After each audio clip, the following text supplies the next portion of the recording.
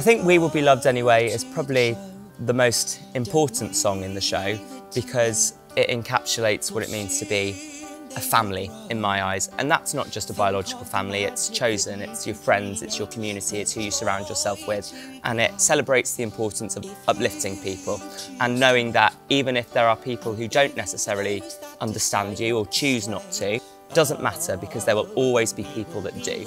When I say even for those that decide not to stay, I'm referring to those that don't want to hang around, don't want to learn, don't want to open their eyes. But they don't matter because all you need is a support system. And if you've got that at home, amazing. If you've got that with friends, brilliant. Just always be there to support people because if you don't, they will be anyway. So you may as well get on board. Decide not to stay. Oh, we will be loved anyway.